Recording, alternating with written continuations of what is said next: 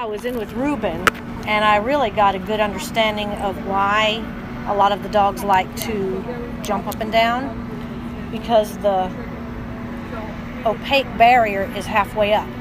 And I kept hearing things since we were on the very end kennel, hearing things that were going on in the rest of the room, and I kept standing up and peeking out to see what was going on. And Just I like the dogs. that's what the, it, it it hit me, and I was like, oh, this is exactly what they're doing. They want to see what's going on. So therefore, they have to jump up and down because they're on all fours and they can't see Yeah. unless they jump up.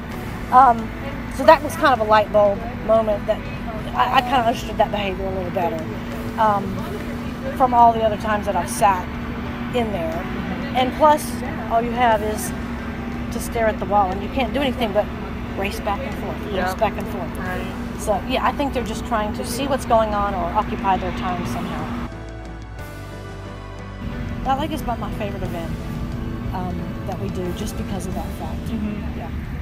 Just how quiet it gets when that was last year was my first experience with that because usually you know they're jumping and barking and it's just mayhem in there. But when everybody was in there, you could hear the music playing.